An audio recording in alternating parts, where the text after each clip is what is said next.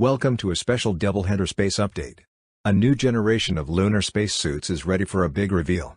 Houston-based company Axiom Space will showcase prototypes of its moon spacesuits for Artemis missions on the moon during a live event Wednesday, March 15, starting at 10:30 a.m. EDT, 1430 GMT. You can watch the webcast on NASA television.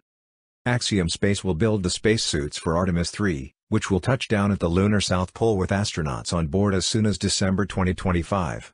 The company was selected for that mission, the first to put humans on the moon since 1972, from a larger NASA spacesuit contract on September 7, 2022.